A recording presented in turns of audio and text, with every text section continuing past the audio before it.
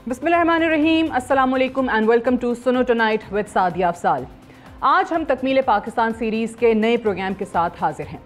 क़याम पाकिस्तान एक खुदाई मोजा है। मोजे के बगैर पाकिस्तान का क़याम मुमकिन नहीं था। एक तरफ़ बरतानवी राज और दूसरी तरफ़ हिंदुओं की मुसलमानों से नफ़रत ढकी छुपी नहीं थी। हिंदुओं की ख्वाहिश थी कि अंग्रेज़ जब बर सग़ीर छोड़ कर जाएँ तो इकतदार उनके हाथ मुंतकिल कर दिया जाए। मगर कुदरत को कुछ और ही मंजूर था। पाकिस्तान की तकदीर लिख दी गई थी। गांधी की हिंदुस्तान छोड़ो तहरीक को भी नाकामी का सामना करना पड़ा। कोई नहीं जानता था कि एक दिन बर सग़ीर की तकसीम का फैसला सुना दिया जाएगा। बरतानिया हिंदुस्तान से राह फरार चाहता था और ख्वाहिश थी कि हिंदुस्तान का एक ऐसा हल निकाला जा सके जिसके तहत उनकी अदम मौजूदगी में हिंदुस्तान में जंग का समा ना बने और हिंदुस्तान किसी न किसी तौर पर बरतानिया के ताबे भी रहे।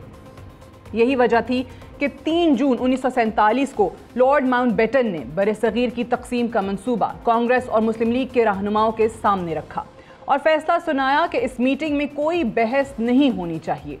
ऑल इंडिया मुस्लिम लीग की तरफ़ से कायद अजम मोहम्मद अली जना लियाकत अली खान और अब्दुलरब निश्तर मीटिंग में मौजूद थे। जबकि कांग्रेस की तरफ़ से जवाहरलाल नेहरू और सरदार पटेल मुलाकात में शामिल थे। ऑल इंडिया मुस्लिम लीग ने कायद अजम की सदारत में लॉर्ड माउंट बेटन की तजवीज़ करदा तकसीम के प्लान को मान लिया और यूँ पाकिस्तान की आज़ादी की राह हमवार हुई। दो कौमी नज़रिए से शुरू होने वाली सोच को बानी पाकिस्तान कायद अजम मोहम्मद अली जनाह ने पाया तकमील तक पहुँचाया। कांग्रेस की लीडरशिप के पास तकसीम के प्लान पर रजामंदी के अलावा कोई दूसरा ऑप्शन नहीं था। हिंदुत्वा की कोई चाल कामयाब नहीं हो सकी। दो कौमी नज़रिया मुसलमानों के लिए अलग रियासत के क़याम का मुतालबा और फिर बानियान पाकिस्तान की जद्दोजहद आज़ादी की काविशों का बरतानवी राज की तरफ़ से हिंदुत्वा की सोच के बरक्स पाकिस्तान के मुतालबे को तस्लीम करना बर सग़ीर के मुसलमानों के लिए एक खुदाई मोजे से कम नहीं था। आलमी हालात का अगर जायज़ा लिया जाए तो एक ऐसा वक्त चल रहा था जहाँ दूसरी जंग अजीम में बरतानवी राज पसपाई का शिकार था। हिंदुस्तान पर बरतानिया की गिरफ्त कमज़ोर हो रही थी। अंग्रेज़ के खिलाफ आज़ादी की तहरीकें ज़ोर पकड़ रही थी। जंग की बदौलत बर सग़ीर की मीशत बुरी तरह तबाह हो रही थी और हिंदुस्तान की 36 करोड़ आबादी पर बरतानिया के लिए अपना कंट्रोल कायम रखना मुश्किल हो रहा था। न सिर्फ़ हिंदुस्तान, बल्कि 1946 में जापान 1947 में फ़लस्तीन 1948 में श्रीलंका और बर्मा को भी बरतानिया छोड़ भागा था। आलमी हालात में तब्दीली और अंग्रेज़ों के जवाल ने पाकिस्तान के क़याम की राह हमवार की और यूँ पाकिस्तान का वजूद 14 अगस्त उन्नीस को मुमकिन हुआ।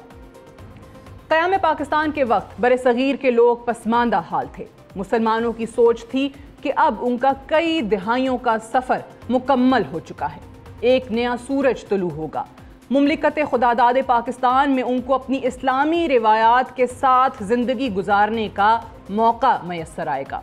खौफ के साए ढल चुके थे और बानी पाकिस्तान ने भी पाकिस्तान के क़्याम के साथ वाजे कर दिया था कि हम इस्लामी रिवायात को अपनाएँगे। बताया गया था कि हमारी मंजिल कुरान और सुन्नत होगी। इंसाफ का बोल बाला होगा। अवामी फलाह ही पाकिस्तान का दस्तूर होगा। एकाश ऐसा हो पाता। पाकिस्तान की तकमील का अमल आज भी ख़त्म ना हो सका। छहत्तर बरस का सफ़र ला हासिल मालूम होता है। आज इंसाफ की फराहमी हमारे लिए सबसे बड़ा चैलेंज बन चुका है। ताकतवर कानून की गिरफ्त से कोसों दूर जा चुका है। ना ही हम इस्लामी अकदार और मुतन करदा असूलों से कुछ सीख सके और ना हम नबी पाक सल्लल्लाहु अलैहि वसल्लम की तालीमत पर अमल कर सके। 1400 बरस कबल रसूल पाक सल्लल्लाहु अलैहि वसल्लम ने अदलो इंसाफ के असूल वाजे कर दिए थे। अबू दाऊद से रिवायत है कि हज़रत अली बयान करते हैं कि रसूल अल्लाह वसल्लम ने मुझे काजी बनाकर यमन भेजा तो मैंने अर्ज़ किया, आप सल्लल्लाहु अलैहि वसल्लम ने मुझे काजी बनाया है। हालाँकि मैं नौ उम्र हूँ और मुझे कज़ा का इल्म नहीं है। आप सल्लल्लाहु अलैहि वसल्लम ने फरमाया, बेशक अल्लाह ताला तुम्हारे दिल को सीधे रास्ते पर रखेगा और तुम्हारी ज़बान को हक पर जमाएगा। बस, जब तुम दो फरीकों के दरमियान फैसला करने बैठो तो उस वक्त तक फैसला ना करो। हती कि तुम दूसरे फरीक का मौक़ भी सुन लो, जैसा कि तुमने पहले फरीक का मौक़ सुना था। हज़रत अली सलाम फरमाते हैं कि इसके बाद मैं हमेशा काजी रहा और मुझे कोई मुश्किल नहीं आई। इस्लामी रिवायात और मौला अली सलाम के दौरे खिलाफत में हुए फ़ैसलों का अगर तस्करा किया जाए तो एक मरतबा सैदना अली सलाम बतौर फ़रीक अदालत में हाजिर हुए और गवाह पेश ना कर सकने की सूरत में उनके खिलाफ फ़ैसला सादर किया गया, जिसको उन्होंने खुशी से कबूल किया। अमीरमिन हज़रत अली सलाम की ज़रा गुम हो गई थी। आपने वो ज़रा यहूदी के पास देखी और उस यहूदी ने कहा कि वो ज़रा तो मेरी है, जबकि यहूदी ने मुसलमानों के खलीफा अमीरमिन सैदना अली सलाम का दावा दुरुस्त मानने से इनकार कर दिया। और कहा कि फ़ैसला तो अदालत करेगी। चुनाचे सैदना अली सलाम और वो यहूदी काजी की अदालत में पहुँचे। इस्लामी कानून अदल के मुताबिक आपके पास गवाह नहीं थे, क्योंकि आपने अपने बेटे इमाम हसन सलाम और अपने गुलाम कंबर को गवाह के तौर पर पेश किया। काजी ने कहा, बेटे की गवाही बाप के हक में और गुलाम की गवाही आका के हक में मोतबर नहीं है, इसलिए उनके खिलाफ फैसला दे दिया। ये देखकर यहूदी हैरान हो गया कि काजी ने खलीफा वक्त के खिलाफ फैसला सादर कर दिया। यहूदी ने एतराफ़ जुर्म किया और इस्लाम कबूल कर लिया। अमीरमिन सैदना अली का काजी की अदालत में पेश होना और फैसले को तस्लीम करना हमारे लिए एक मिसाल की हैसियत रखता है। मगर इस्लाम के नाम पर कायम की गई रियासत में आज भी हम नफाज इस्लाम के मुतमनी हैं। कहने को हमारा आइन इस्लामी है। मगर हमारा निज़ाम अदल अमीर वक्त को अदालत में तलब नहीं कर सकता। अंग्रेज़ चला गया, मगर अंग्रेज़ का बनाया हुआ कानून आज भी पाकिस्तान में नाफिजुल अमल है। क़याम पाकिस्तान की तकमील का सफ़र जारी है। ममलिकत खुदादाद पाकिस्तान में अमनो इंसाफ और निज़ाम अदल का बोल बाला सिर्फ़ उसी वक्त हो सकता है जब हम कुरान और सुन्नत पर अमल करेंगे। इस्लामी तालीमत की रोशनी की गैर मौजूदगी में हमारी तनजली मज़ीद जारी रहेगी। और आज हमारी यही तकमील पाकिस्तान की सीरीज़ का अगला प्रोग्राम, जिसमें इसी टॉपिक पर हम बात कर रहे हैं और हमारे साथ मेहमान मौजूद हैं, उनका तारुफ करवा दूँ। पैनल में तशरीफ़ फरमा है बैरिस्टर ज़फ़रुल्ला ख़ान साहब। मरूफ माहिर आइन व कानून हैं मुसनफ़ भी हैं। बहुत शुक्रिया बैरिस्टर साहब आपका। और हमारे साथ मरूफ तजियाकार ब्रिगेडियर राशिद वली भी हैं। वो भी हमें ज्वाइन करें। ब्रिगेडियर साहब आपको भी खुश आमदीद कहते हैं। आपका भी बेहद शुक्रिया। अगर मैं आपसे बैरिस्टर साहब आगाज़ करूँ बड़ा बुनियादी सा सवाल है। आ, वो जो एक बेसिक ख्याल था फ़हम थी एक इज्तमाही सोच थी क़याम पाकिस्तान के पीछे चाहे वो आप बानियान पाकिस्तान की क़ुरबानियाँ उनके फरमुदाद हर जगह पे आपको मिलेंगी कि हमने इस्लामी कवानीन और रिवायत नाफिज करनी है इस मुल्क में। वो सोच कहाँ गई? बसमीम हमारे जो पाकिस्तान के मेमार थे वो बुनियादी तौर पर दो थे। हज़रत इकबाल रहमत और हज़रत कैद अज़म दोनों जो फरमाते थे उसका ख़ुलासा ये था कि हम इस्लाम की वो ताबीर के लिए एक लेबॉर्ट्री बना रहे हैं जिसमें आवाम के लिए फ़लाह होगी। हम्म। आवाम की ज़िंदगी खुशहाल होगी इंसाफ होगा। जिस लफ्ज़ को वो बार बार इस्तेमाल करते थे वो था सोशल जस्टिस। हम्म। सोशल जस्टिस से मुराद है अदल इजतमाही ठीक। समाजी इंसाफ मुआशी इंसाफ तालीमी इंसाफ वो होगा।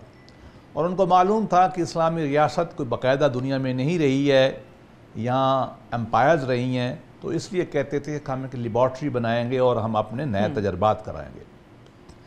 बदकिस्मती से जब पाकिस्तान बन गया तो जो कैद आज़म या इकबाल की दीन की तफहीम थी ठीक। वो हमारे यहाँ से गुम हो गई। ये अच्छा आपने कहा कि उनकी जो। दीन की तफहीम थी। तो उसकी मैं हम्म। वाजे कर दूँ देखें पाकिस्तान की जब तहरीक चली तो पाकिस्तान हिंदुस्तान के इलाके की अक्सरियत कहते थे कि दीन की एक ताबीर है। हम्म। वो कहते थे कि हम हिंदुस्तान में रहेंगे पाकिस्तान भी नहीं बनाएँगे। जिसमें बड़े अजीम ओलमा थे जिनका हम कदब करते लेकिन उनका सियासी इख्तलाफ था। एक तरफ़ हमारे थे इकबाल और इकबाल के बाद जिना साहब। मुसलमान ने हिंदुस्तान ने हम्म। उन उलमा की राय को कबूल नहीं किया। ठीक है। और उन्होंने कहा कि हम इस बंदे को अपना कायद बनाएँगे हम्म। जो दाढ़ी भी नहीं रखी हुई टाई भी लगाता है अंग्रेज़ी सूट भी पहनता बोलता भी अंग्रेज़ी है। लेकिन उनकी खास सोच थी। वो कहते थे हम थियोक्रेसी नहीं लगाएँगे। हम अवाम की हुकूमत बनाएँगे और अवाम को हम समाजी इंसाफ का मतलब ये दुनियावी तरक्की देंगे। इंसान को बराबर समझेंगे गरीब अमीर का फ़र्क मिटाएँगे आकार ग़ुलाम का फ़र्क मिटाएँगे जगीदारी को हम ख़त्म करेंगे निज़ाम तालीम हम उनको ऐसा देंगे जो इंसानी अकल को इंसान की फलाह को बढ़ाएगा। ये हम्म। उनका मफहूम हम्म। था। बदकिस्मती से फिर पाकिस्तान में आहिस्ता आहिस्ता दीन का वो मफहम गालिब आ गया। जो इकबाल और जिना के खिलाफ बिल्कुल सही।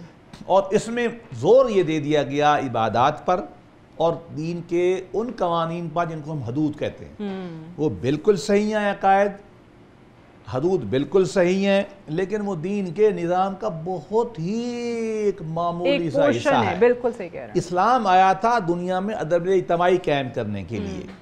और लोगों लेकिन बदकिस्मती से हमारी ताबीर दीन उलट हो गई। हम्म। वो एक शेर है मुल्तान के इनके बच्ची बैठी है खनेवाल की इनके इलाके का। वो कहते हैं ये पूरी बात को वाजे कर देगा। हम्म। जो मैं कहना चाहता हूँ कि पैराडाइम ही उलट हो गया हमारा। जो दीन वो लाए थे जो कह रहे थे वो दीन हमने उलट कर दिया। अब दीन एक और है कि लिबास दीस्त लिबास जीस्त बहुत दीदा जेब था। हम्म। बेदिल इसको हमने उल्टा पहन लिया। बिल्कुल। बेहतरीन हाँ। दीन था।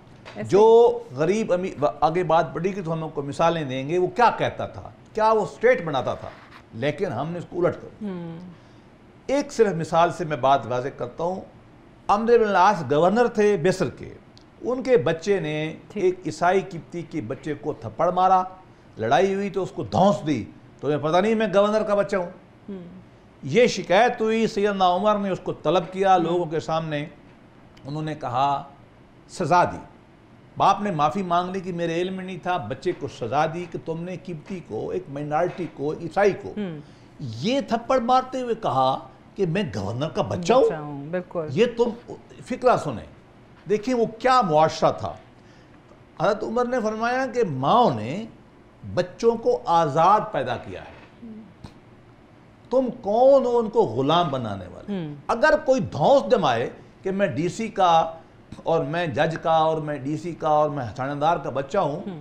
हमारी तहजीब में ये गुलामी है और उसको सजा दी जा रही है। ये एक मुआरा हमने बनाना था पाकिस्तान में। बदकिस्मती से हम इस पर नाकाम हुए। अब तो आपको यही मिसालें नज़र आती हैं कि जिसके पास ताकत है पावर है या जो इकतदार में है पोजीशन में बैठा हुआ है वो धौस और धांधली ही जमाते हुए नज़र आएगा हम यही कह रहे हैं ना कि हमने लिबास को उल्टा पहन उल्टा पहन लिया। दीन जिस चीज़ को मना करता है इस्लाम वो मौजूद है। और जिसको वो कहता है वो गैर है। बिल्कुल सही। ब्रिगेडियर साहब अब इसी को आगे बढ़ाते हैं। फिर ऑब्वियसली जो हमारे पास ऑडियंस में स्टूडेंट्स हैं डिफरेंट यूनिवर्सिटीज़ के उनके लिए भी फ्लोर ओपन करेंगे उनके क्वेश्चंस आप लोगों के सामने रखेंगे। बट जिस तरीके से भी बैरिस्टर साहब ने बात की ना बड़ी अच्छी बात की कि मजाहब तो देखें दुनिया में बहुत हैं। इन्होंने लफ्ज़ इस्तेमाल किया दीन के इस्लाम जो है वो सिर्फ़ एक मज़हब नहीं है वो एक दीन है। वो मुकम्मल आपको एक चार्टर जो है ना ज़िंदगी गुजारने का वो उसमें मिलता है। अब यही चार्टर हमारे बानियान पाकिस्तान ने अवाम के सामने रखा था उस वक्त के ये इस्लामी इकदार हैं, ये रिवायात हैं, ये तालीमत हैं, इनकी रोशनी में मुल्क बन रहा है और इन्हीं का फ़रोग या इन्हीं का नफाज जो है वो आपको पाकिस्तान में नज़र आएगा। क्या वजह है कि वो हम पर नहीं कर सके? और अगर वाकई वो हो जाता, मुकम्मल उस चार्टर पर अमल होता तो फिर आज हम इन मसाइल का शिकार ना होते, जो छहत्तर बरस से बढ़ते जा रहे हैं, कम नहीं हो रहे। जी बिल्कुल ये बात दुरुस्त है। हमें चीज़ों को उसके सही तनाजुर में देखना चाहिए। अब अगर हम तहरीक पाकिस्तान का जायज़ा लें तो हम ये देखते हैं कि कैबिनेट मिशन तक तो कायद अज़म भी एक मुतहदा हिंदुस्तान के हक़ में थे मगर वो हम्म। नेहरू की हट दर्मी थी जिसकी वजह से ये चीज़ नहीं हो सकी। और फिर कायद अज़म ने इस चीज़ का इदराक किया कि ये हिंदू मेजोरिटेरियनिज़म हम पे नाफिज करना चाह रहे हैं। और चूँकि मुसलमान सदियों से बड़ी असेंडेंसी की पोजीशन में थे और जब ये नो आबादियाती रूल उन पर मुसलत हुआ तो उसमें जितने इंडिसेस आप करें एजुकेशन हेल्थ गवर्नमेंट की जो मुलाजमतें थी तो मुसलमान बहुत पीछे रह गए। तो कुछ मसले निकले जिस तरह सर सैद अहमद ख़ान थे उन्होंने इसका बीड़ा उठाया तालीम के ज़रिए। और उससे आगे जब निकले और दूसरी जंग अजीम के बाद ये नज़र आना शुरू हो गया कि बरतानिया अपनी नो आबादियाती जो ये है रियासतें इन पे अपना कॉलोनीज़ पे तसलुत मज़ीद नहीं कर सकेगा तो आज़ादी तो मिलनी थी। तो ये मेन आइडिया ये था कि मुसलमान चूँकि वो अशराफिया थी यूपी की और उन भारत के उन इलाकों की जहाँ उन्होंने हुकूमत की हुई थी हम्म। एक बोदोबाश तर्ज माशरत मुसलमानों का इनका कल्चर वो हिंदू मेजोरिटेरियनिज़म से ख़तरे में था तो कायद अज़म और अलामा इकबाल जैसे उनके अफकार की रोशनी में ये बीड़ा उठाया गया कि सियासी तौर पर ऐसा ना हो कि अंग्रेज़ चला जाए और मुसलमान फिर बॉन्डेज में चले जाएँ एक हिंदू मेजॉरिटी के तो एक अलहदा वतन का मुतालबा हुआ जिसमें वो चौदह नुकात थे और उनका मतम नज़र यही था कि एक ऐसा मुल्क वजूद में लाया जाए जहाँ मुसलमान बग़ैर खौफ के अपने मज़हब को और अपनी अकदार और अपने कल्चर के मुताबिक और बग़ैर किसी डिस्क्रिमिनेशन के मुआशी डिस्क्रिमिनेशन के अपना ज़िंदगी जारी हम्म। रख सकें और उसके बाद जब कानून साज असम्बली में जो कॉन्स्टिट्यूंट असम्बली थी उसका 11 अगस्त उन्नीस सौ सैंतालीस अगर आप स्पीच कायद अज़म की सुने तो वो एक चार्टर है हमारे पॉलिटिक्स के लिए भी हमारी इखलाकी रहनमाई के लिए भी और समाजी इंसाफ के लिए भी। उन्होंने कहा था कि अब आप आज़ाद हो चुके हैं और ये मुल्क तमाम पाकिस्तानियों के लिए होगा। बेशक आप किसी भी मज़हब या हम्म। किसी भी रेस से आपका ताल्लुक हो it has got nothing to do with the business of the state ये उनके एग्जैक्ट अल्फाज थे हम्म। और उस पर उन्होंने बड़ा क्लियर रोड मैप दिया कि यहाँ पे माइनॉरिटीज़ के ख़िलाफ़ किसी किस्म की डिस्क्रिमिनेशन नहीं की जाएगी और हम एक समाजी इंसाफ और कॉन्स्टिट्यूशनल गवर्नेंस के ज़रिए जमहूरी जिस प्रोसेस के ज़रिए पाकिस्तान बना था वो एक जमहूरी प्रोसेस था और उसको परवान चढ़ाया जाएगा तो ये तो था हमारा एक रोड मैप इसमें जो क्लैरिकल जो कुछ लोग थे मजहबी उनका एक रोल पाकिस्तान की मुखालफत करना भी था। कुछ लोगों ने पाकिस्तान के हक़ में काम भी किया जो कायद अज़म के साथ थे। और उन्हीं से उन्हीं की मदद से कायद अज़म ने ये सोच आगे भी हम्म। फ़रोग दी और उसका तस्करा भी करते रहे।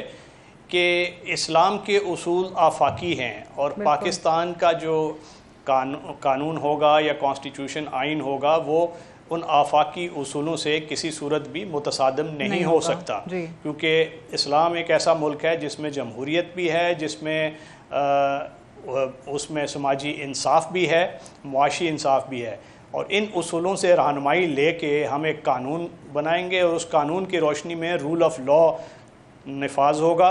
और तमाम जो उसके शहरी हैं उनको बराबर हुकूक दिए जाए। तो ये तो था रोड मैप और ये रोड मैप दिया and on so many occasion जो आप बात कर रहे हैं कि वो निज़ाम हुकूमत इस मुल्क में क्या होगा वो बार बार कहा करते थे कि ये बताने वाला मैं कौन होता हूँ? ये तो रसूल पाक सल्लल्लाहु अलैहि वसल्लम ने बता दिया। उस वक्त तेरह सौ साढ़े तेरह सौ साल पहले का वो बार बार ज़िक्र किया करते थे कि तो कुरान में लिख दिया गया कि कानून क्या होगा। बैरिस्टर साहब क्योंकि ऑब्वियसली कानून के हवाले से भी हम बात करेंगे। पाकिस्तान के आइन पे भी बड़ी बात होती है। मैं एक ब्रेक ले लूँ, उसके बाद स्टूडेंट्स की तरफ़ भी जाएँगे ऑडियंस में जो सवालात हैं, उनका सिलसिला भी हम शुरू करेंगे। Right after this short break statute welcome back program में एक बार फिर से खुश आमदीद। फ्लोर इस वक्त ओपन कर रहे हैं हम अपनी ऑडियंस के लिए।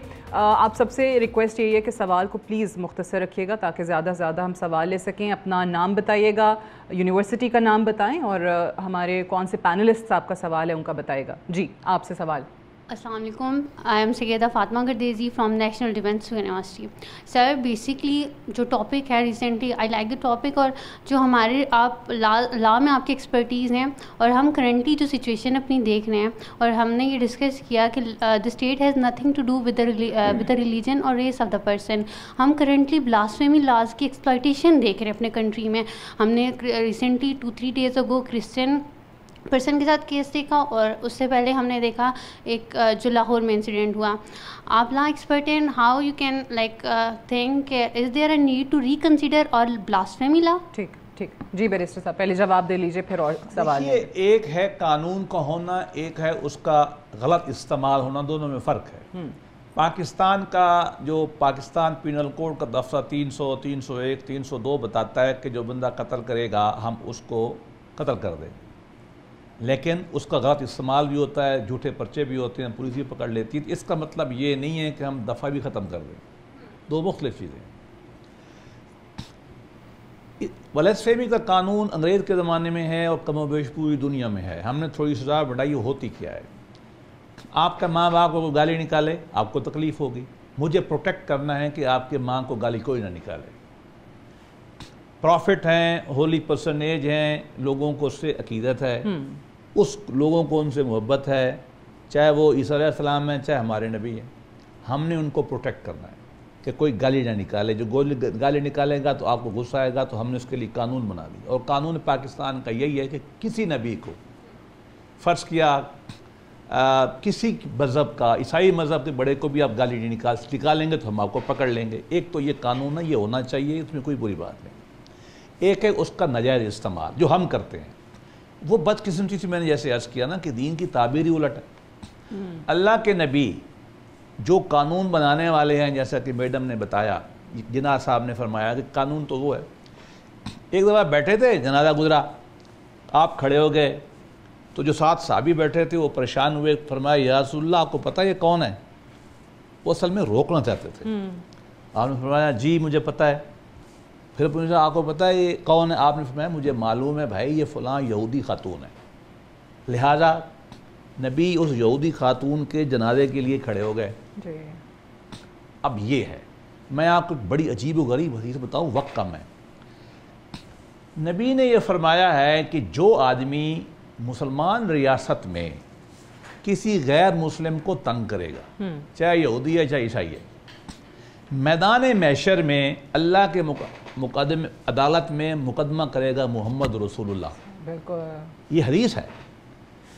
आप अंदाज़ा लगाओ कि जो मुसलमान किसी चर्च को जाके आग लगा देता है हम्म। उसके खिलाफ मुकदमा कौन पेश करेगा? मोहम्मद रसूलुल्लाह। अदालत मुदई कौन होगा? मोहम्मद रसूलुल्लाह वसल्लम। डिफेंडेंट कौन होगा? वो मुसलमान बदकिस्मत। और जज कौन होगा? खुदा। अंजाम देख लें क्या होगा। भाई हमारा दीन तो मोहब्बत करने वाला दीन है। अल्लाह के नबी ने तमाम चर्चों को ख़त लिख के दिए। आज तक मौजूद हैं सेंट कैथरीन में भी जाके लेटर पढ़ो कंप्यूटर पे गूगल पे हम्म। कि भाई हम तुम्हें नहीं गिराएँगे। आगे चलें। सैदना उमर रज़ी अल्लाह जब जरूशलम फतह हुआ वहाँ गए। उन्होंने कहा आ, हम आपसे साइन करेंगे। उनके पोप ने कहा ये वहाँ गए। मुलाकात जारी थे। नमाज़ का टाइम हुआ। उन्होंने कहा मैंने नमाज़ पढ़नी है तो उससे पोप उनका जो सख्त बिशप था ना कार्डिनल उसने कहा आप नमाज़ हमारे चर्च में पढ़ लो। उन्होंने नहीं पढ़ी। वो उठे शार से थोड़ी दूर गए ज़मीन पर नमाज़ पढ़ी उन्होंने बड़ी मशहूर बात कही। उन्होंने कहा मैंने यहाँ नमाज़ पढ़ ली ना तो मुसलमान इसको मस्जिद बना लेंगे। मस्जिद बना बिल्कुल। अंदाज़ा लगा लो। हम्म। देखो हमारे ये बड़े थे जिन्होंने अकलीतों के बारे में इतनी मोहब्बत का सलूक किया कि नबी फरमा रहे हैं कि आप ज्यादती करोगे तो मुसलमान के ख़िलाफ़ मैं मुकदमा करूँगा। मैं आपको एक और छोटी सी एक मिसाल दूँ जो बदतरीन तारीख का उंगलियों का दौर है। हम उसको अच्छा दौर नहीं समझते। उसमें अमीर मुआविया एक हुक्मरान थे जो आइडियल हुक्मरान नहीं है। उनके ज़माने में घंटी बजती थी दोपहर को चर्च बजाता था। उनके यहाँ पता अजान चर्च की होती घंटी बजती है। जिनको नींद के प्रॉब्लम होती थी उन्होंने मैसेज भेजा कि आप घंटी कम करें उन्हीं माने। उसने रोका नहीं है थानेदार को नहीं भेजा कि मौलवी को गायब कर पादरी को। उठा के फेंक। उन्होंने ख़त लिखा उनके पोप को बजिंटाइन में। और कहा कि यार, ये उसको अगर समझा सको तो पोप ने उन्होंने लिखा कि यार, थोड़ा घंटी कम कर दो। ये हया हमारे ऐसे दौर हुकूमत में जो आला नहीं है, उसमें भी हम इतना एहतराम करते थे। आला तो और था। हमारे यहाँ ये बदल चुका। मैं आपको बताऊँ, सबसे ज़्यादा आपको परेशानी होगी मैदान मैशर में जब नबी पाक कहेंगे कि इन मुसलमानों ने जो आग लगाई है ना मैं इनके खिलाफ मुकदमा करता हूँ। हमें इनसे प्यार करना है माइनॉरिटी से। यही कह ने कहा। ये आइन में लिखा हुआ है। हम्म। हम जुल्म कर रहे हैं तो ये मुसलमानों की गलती है। हम वैशी बने हुए हैं। हम रहमतुल्लामीन के मानने वाले हैं ही बने नहीं हैं। हमें इनसे प्यार करना है। हमें इनसे मोहब्बत करनी है इन लोगों से जो कमज़ोर है। और हम्म। इससे अलावा मैं जो आपने पहले कहा ना कि कानून का अगर इस्तेमाल गलत हो रहा है तो हाँ, कानून है। का जो है वो कसूर नहीं है। बात और गलत कानून नहीं है। इंसानी में बदतरीन जो मुसलमानों के खिलाफ लिखने वाले हैं ना उनमें गोल्डाजेर और बर्नार्ड लुइस है। हम्म। दोनों ये कहते हैं कि तारीख के चौदह सौ साल में सबसे अच्छी हुक्मरानी अगर मुसलमानों ने किसी के साथ माइनॉरिटीज़ के साथ की है तो मुसलमानों ने की है। स्पेन में यहूदी बड़े खुश थे ईसाई। और जब वहाँ जुल्म इंक्विजिशन हुई तो वहाँ से यहूदी बाग के इस्तंबुल भी मुसलमानों के पास पनाह गुजीन हुए थे। हमारी तारीख अच्छी रही है इनके बारे में हम्म। हमारा दीन अच्छा है अब हम खूनखार बने हैं इसका दीन से कोई कोई ताल्लुक नहीं। है। मजीद सवालों की तरफ़ बढ़ते हैं। आप सवाल करना चाह रही थी? अच्छा पीछे जरा माइक फरमाएँ। My name is Abdullah Shadman. I belong to district Mardan KP and I am from International Islamic University. वो जो ख्वाब थे मेरे जहन में न मैं कह सका न मैं लिख सका कि ज़ुबा मिली तो कटी हुई कि कलम मिला तो बिका हुआ। सर जिस तरह आज का हमारा टॉपिक है कि मतलब पाकिस्तान तो आज़ाद हुआ इस्लाम के बेस पे मतलब हमारा जो नारा था वो था कि पाकिस्तान का मतलब क्या ला ला इलाहा इलाहा, इल्लल्लाह। लेकिन जब ये मुल्क आज़ाद हो गया तो यहाँ वो निज़ाम कायम न हुआ जिसके लिए ये मुल्क आज़ाद हुआ था। हमने पहला कॉन्स्टिट्यूशन 1956 में बना लिया। इसकी वजह ये थी कि सर हम हमें ये बात क्लियर नहीं थी कि यह सिकुलरिज्म होना चाहिए यहाँ इस्लामी निज़ाम होना चाहिए। तो सर आप क्या समझते हैं कि इसमें गलती किसकी है? चले मैं मैं ब्रिगेडियर साहब से जवाब ले लेते क्विकली सब, आप सवाल प्लीज़ मुख्तसर रखिएगा आगे के लिए भी। ब्रिगेडियर साहब ये जो इन्होंने बात की ना ये बड़ी ज़बरदस्त बात है कि उस वक्त हमें यही अंदाज़ा नहीं हो रहा था जो आइन बनाते हुए इन्होंने कहा कि सेकुलर मुल्क होगा कि क्या होगा। तो कन्फ्यूज़न तो फिर वहीं पे आपने मुल्क बनाने के बाद ही शुरू कर दी। हालाँकि बड़ा क्लियर था पाकिस्तान के क़्याम के वक्त के ये मुल्क जो है वो इस्लामी अकदार के लिए बना है इस्लाम के नाम पर बना है और ये सही कह रहे हैं पाकिस्तान का मतलब क्या? ला इल्लल्लाह इसी नारे की बुनियाद पर बनाया गया। सो ये जो कन्फ्यूज़न आया कि जनाब सेकुलरिज्म का नारा लगने लग गया ये कहाँ से आया? पहले तो ये बताइए। जी पहले तो इन्होंने जो शेर पढ़ा इनको मैं इकबाल का एक और शेर बताता हूँ गवा से मोहब्बत का अल्लाह निगहबाँ हो हर कतरा दरिया में दरिया की है गहराई। अ, ये जो दरिया में अगर आपने कूदना है तो कतरों से शनासाई हासिल करें और वो कतरे किताबें। हैं अल्लामा ने ही फरमाया है कि तुझे किताब से मुमकिन नहीं फ़राक कि तू साहिब तू किताब खां है मगर साहिब साहिब किताब किताब नहीं। नहीं। हमारा मसला ये है कि हम सिलेक्टेड चीज़ें पढ़ते हैं और ये सोशल मीडिया का जो दौर है इसमें इसने हमें किताब से मज़ीद दूर कर लिया। वो एक अलहदा बहस है उसमें मैं नहीं जाऊँगा। बड़ी लंबी बहस है सोशल मीडिया की। वो ना खत्म होने वाली बहस तो मगर मैं इस सवाल की तरफ़ आ जाता हूँ। जी। जो बेटे ने बड़ा अच्छा ये सवाल किया है। और ये बहुत उनकी जो अमीक नज़र है हमारी तारीख़ पे और जो एजिटेट करते हैं अजहान को जो इश्यूज़ उसकी तरफ़ तवज्जो मबजूल करवाई है बिल्कुल सही रेलेवेंट सवाल है। अब मेरी हम्बल दानिस्त में इसका जवाब ये है कि पाकिस्तान का मतलब क्या ला इलाहा इल्लल्लाह? बिल्कुल ठीक है ये एक रेलेवेंट नारा था। उसके बाद बड़ा क्लियर है कोई भी कॉन्स्टिट्यूशन बनेगा और उस कॉन्स्टिट्यूशन की जितनी शिकें होंगी वो इस्लामी जो अकदार हैं उनसे मुतसादम नहीं होंगी। यहाँ तक तो ठीक है। उसके बाद आपने कानून बनाना था और कानून सबसे बड़ा जो सोशल कॉन्ट्रैक्ट समाजी माहा होता है पॉपुलेशन और स्टेट के दरमियान वो आइन होता है आपका। तो आपने आइन बनाया उसमें बदकिस्मती से कायद अज़म जल्दी चले गए उनको कानून बनाने का मौका नहीं मिला जैसा कि नेहरू जो कि फाउंडर था हिंदुस्तान का उसने अपनी निगरानी में कानून बना के नाफिज भी करवा दिया।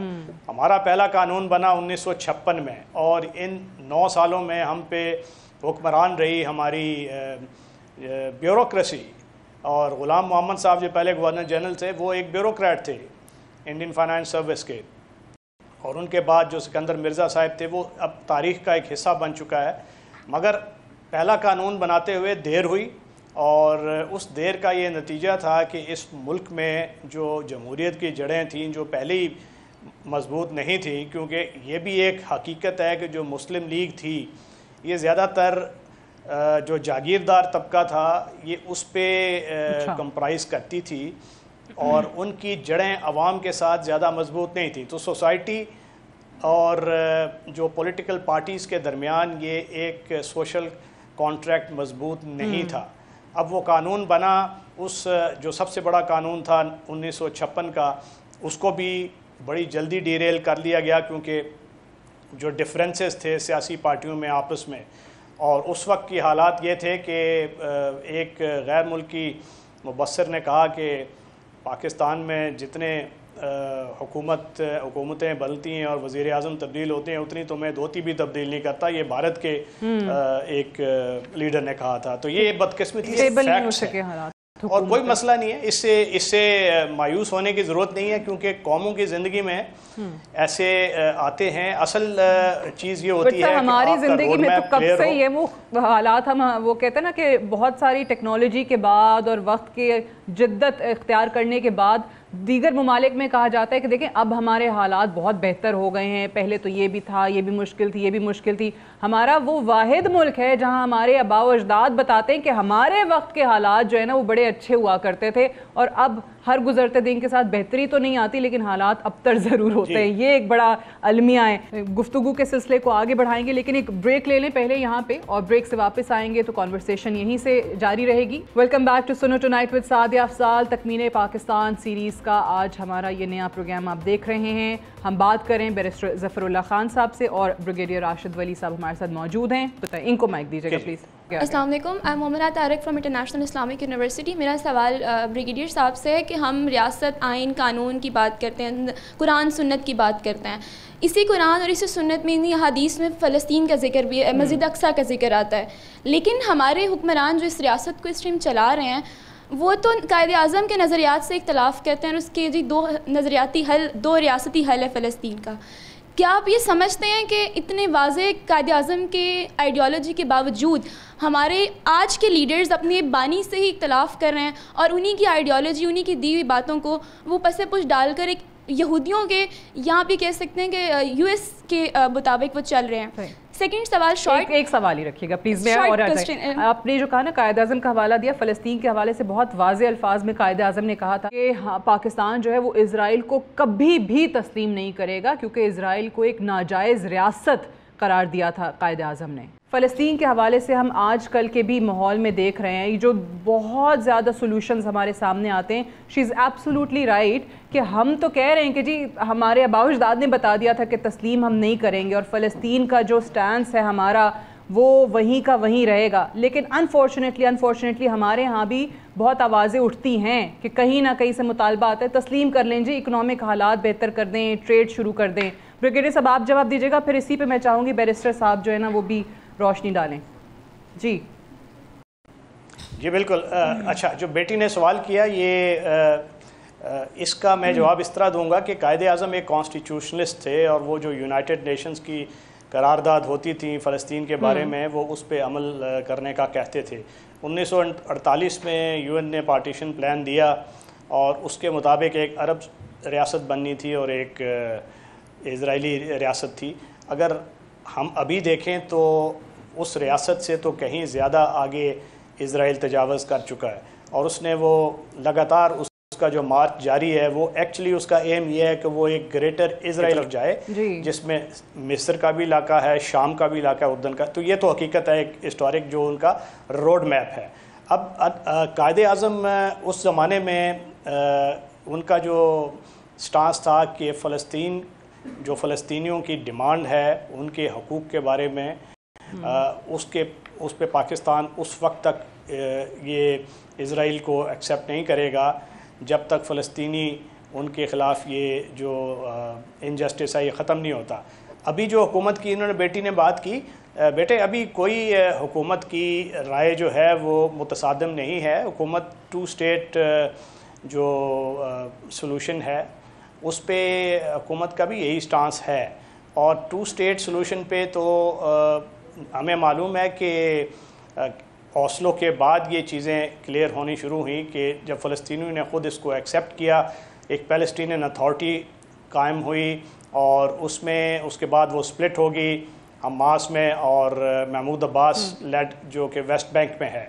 तो उस हाँ। उसमें तो अभी भी जो हुकूमत है उसका स्टांस यही है पाकिस्तान स्टेट सोल्यूशन को सपोर्ट करता है इसराइल सपोर्ट नहीं कर रहा। बैरिस्टर साहब आप जवाब दीजिएगा। हमने जज्बात से मसलों का हल करना है सर मारना है या अक्ल शरीफ इस्तेमाल करनी है पहले हम ये फ़ैसला कर लें। अब मैं ज़रा आपको फ़लस्तीन की दूसरी पहलू सुनाना चाहता हूँ। खिलाफत उस्मानिया में तमाम उनकी आँखों के नीचे, तमाम अरबों ने ज़मीनें बेचें, यहूदियों ने ज़मीन ख़रीद करके अपनी आबादी बढ़ाई और हम सोए रहे। 48 में यहूदियों को और हमें तकसीम करने के लिए यूएन ने कहा 44 परसेंट मुसलमान फ़लस्तीन ले ले 56 यहूदी ले लें। हमने कहा, हम तो लड़ेंगे, हम नहीं लेते। वो मुल्क नहीं था इरेगुलर फ़ौज थी। हमने हमला कर दिया। हमला करने वाले कौन मुल्क थे? लबनान शाम जॉर्डन मिसर। हमने कर दिया हमला और हमले में हम हार गए। वो हमसे ले गए। तमाशा देखें। अच्छा। उसके बाद आया 56 वहाँ यही हुआ सुएज कदाल में। 67 में हमने फिर हमला किया सबने मिल के उन्होंने ये किया कि वो जो 44 हमें उन्होंने आधा ले लिया था जोर्डन ने आधा ले लिया था रफ़ा का इलाका जो है मिस्र ने उन्होंने आपसे वो भी छीन लिया। तो सौ फ़ीसद फ़लस्तीन जो था वो इसराइल ले गया और प्लस गोलान हाइट शाम से ले गया। और आप सारे मुल्क ऐसे बैठे रहे। आ गया 73 आपने फिर हमला किया उन्होंने आपको फिर कुट दिया। हर शय आपसे ले गए। आप मुझे बताइए आप तो लड़ नहीं सकते। आप अपना दे बैठे। ओसलो में मिन्नतें करके, बंदे मरा के आपने उनसे कहा, हमें बाईस फ़ीसद अब दे दो। इस वक्त जो जो हम मांग रहे हैं फ़लस्तीनी, वेस्ट बैंक और गज़ा, ये बाईस परसेंट है। मुझे कोई बताए, मुसलमानों को ये अकल नहीं आई है कि तुम्हें हाथ से वो 44 परसेंट देते थे। अब तो मिन्नतें करके 22 परसेंट लेते, आगे चलो। 22 के अंदर जोन है। जोन ए, जोन बी, वक्त नहीं है, मैं आपको बताता। बात ये अब कहते हैं नहीं बम चला दो हम चला देते हैं। बात ये है हम उनसे लड़ सकते हैं। पूरी मुसलमान दुनिया में चार नोबल प्राइज़ हैं।